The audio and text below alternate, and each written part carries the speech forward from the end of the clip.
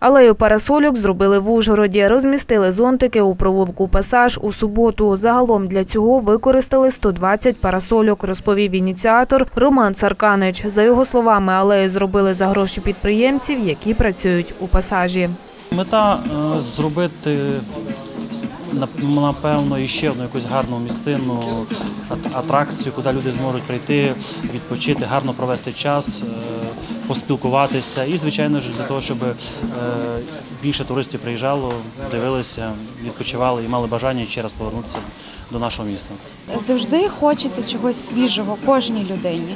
І в нашому місті це не виняток. І я думаю, такі речі треба робити постійно. Людей це радує, людей це посміхає, так само і мене.